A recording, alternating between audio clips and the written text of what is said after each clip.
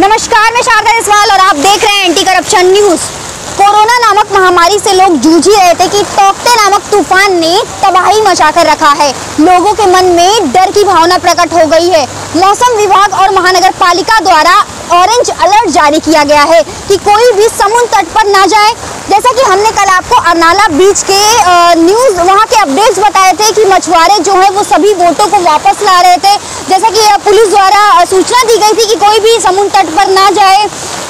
इस वक्त मैं उपस्थित हूँ नाला सुपारा पूर्व के सेंट्रल पार्क एरिया में। आज सुबह से ही बारिश हो रही है। मुंबई के कई जगहों पर पेड़ यहाँ तक कि नाला सुपारा पूर्व के अचोले परिसर में, में वहाँ पर एक बिल्डिंग जो है वो इस वक्त मैं उपस्थित हूँ। नाला सुपारा पूर्व के सेंट्रल पार्क एरिया में आप देख सकते हैं, यहाँ पर बहुत ज़्यादा पानी भर चुका है।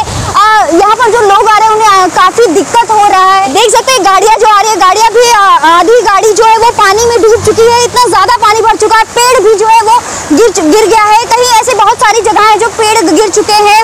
और ये जो नामक तूफ़ान है, इसने लोगों के मन में, सच में डर की भावना प्रकट कर दी है।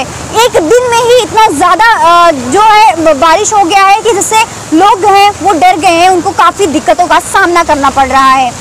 तो घर पर रहे, जिस तरह से मौसम विभाग द्वारा अलर्ट जारी किया गया है, घर पर रहें, सुरक्षित रहें, घर से बाहर ना निकले।